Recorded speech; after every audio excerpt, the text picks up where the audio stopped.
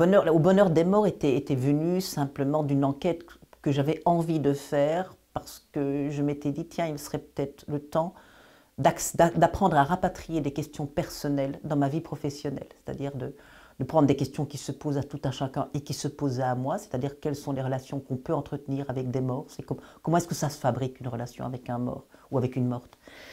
Et, euh, ça, ça avait été la première étape. Et en fait, la deuxième étape qui est hum, les morts à l'œuvre, en fait, ça vient d'une commande, d'une demande. Donc il y a Xavier Dourou qui était euh, le directeur du consortium à Dijon, qui est un centre d'art contemporain, et qui faisait partie du programme des nouveaux commanditaires comme médiateur. Et il y avait François Hertz, qui est l'initiateur du programme des nouveaux commanditaires, peut-être devrais-je dire deux mots à ce sujet-là. Euh, le programme des nouveaux commanditaires, en fait, vient donc d'une initiative d'un artiste, il y a une bonne vingtaine d'années d'ici, François Hertz, qui s'est dit, les mécènes, les banques, euh, l'État peuvent commander des œuvres d'art, pourquoi est-ce qu'un simple citoyen ne pourrait pas aussi, à un moment donné, parce qu'il y a un problème, parce qu'il y a des questions qui se posent et qui ne peuvent recevoir de réponse, si ce n'est dans le domaine peut-être de l'expression artistique, pourquoi ne permettrait-on pas à des simples citoyens, si possible à des collectifs, euh, d'avoir une envie d'œuvre d'art et qu'une œuvre d'art soit une réponse à que ce soit un problème de déshérence sociale, que ce soit un problème d'invisibilité dans l'espace social. Et donc, des, centaines d'œuvres ont été ainsi commandées par des citoyens qui essayent de se mettre en commun pour demander une œuvre d'art et qui suivent à ce moment-là un protocole qui est financé euh, pour ce faire et qui a très longtemps financé par la Fondation de France. Et François et, Xavier donc Dourou et François Hertz étaient venus me trouver en disant on a eu quelques œuvres d'art qui ont été commanditées parce qu'il y avait un décès et parce qu'il y avait un défunt. Et il semblerait, d'après ce qu'on a pu lire de ton travail, qu'on pourrait penser que quelqu'un, un défunt, un mort, a réclamé. Et est-ce que tu pourrais imaginer d'aller voir, tiens, est-ce que ça change quelque chose? Est-ce que ça nous apprend quelque chose des relations entre les vivants et les morts?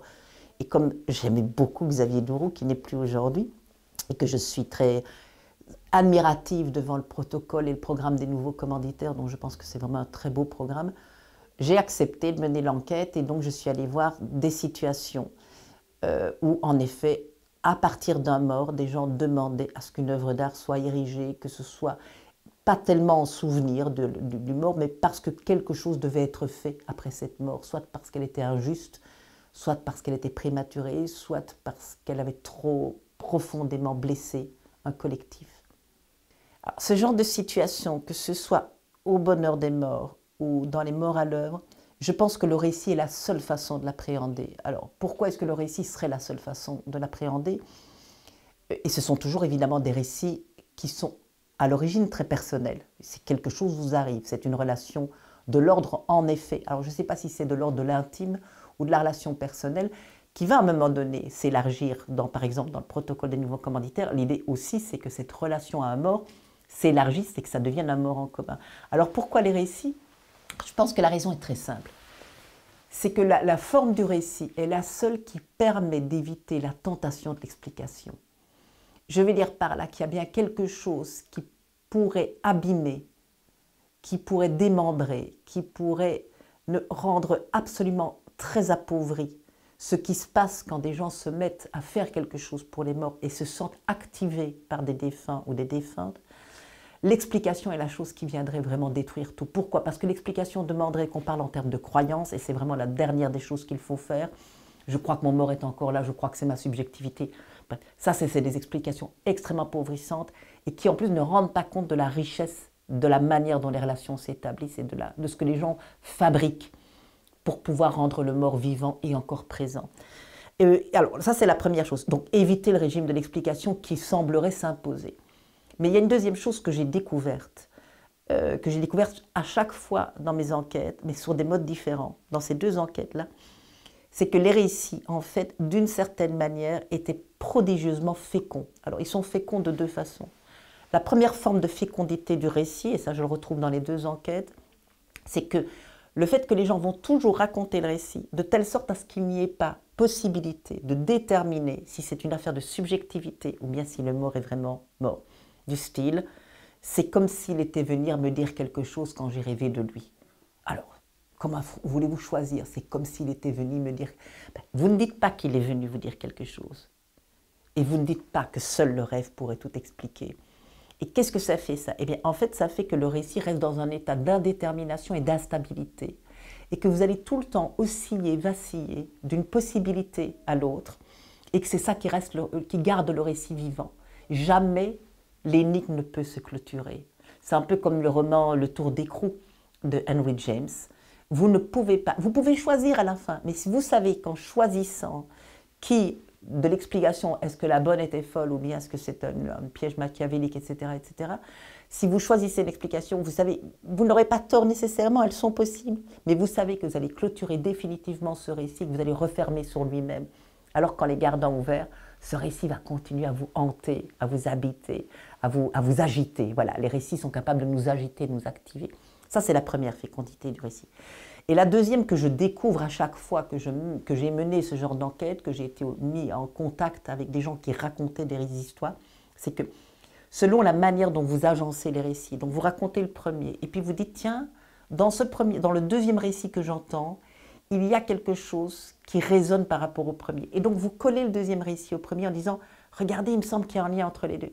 Et vous vous rendez compte que le lien qui se crée entre les deux par ce petit effet de résonance, fait que ce que vous entendez du premier récit n'est plus la même chose exactement. Et puis vous accolez un troisième récit, vous vous rendez compte que le troisième récit fait écho au premier et vous rend perceptible dans le premier récit des choses que vous n'aviez pas vues.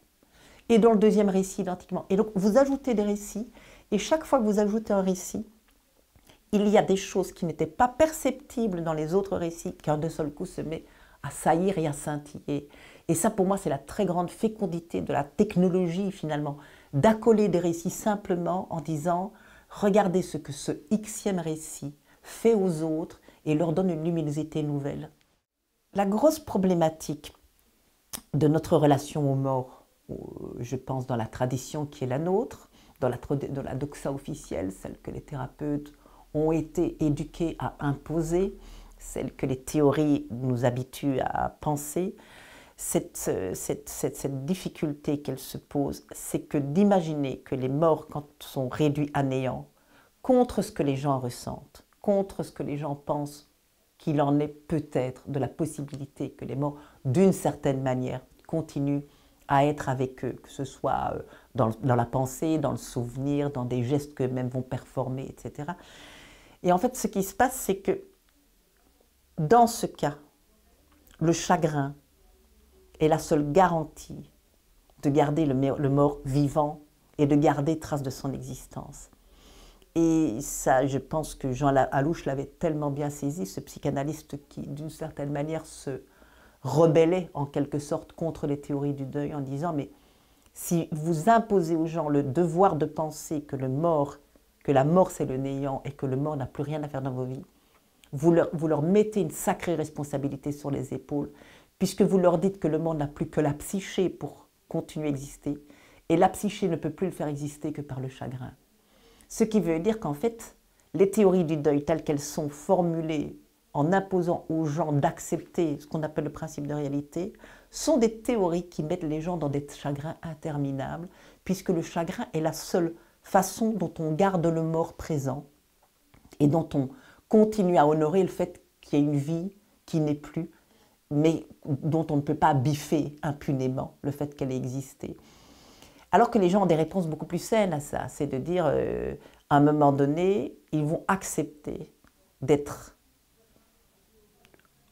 comment dire, ils vont accepter et assumer pleinement, et ça je l'ai vu chez tellement de personnes, qu'il y a moyen de renouer avec la joie en présence du mort sans besoin d'en passer par le chagrin pour garder sa mémoire.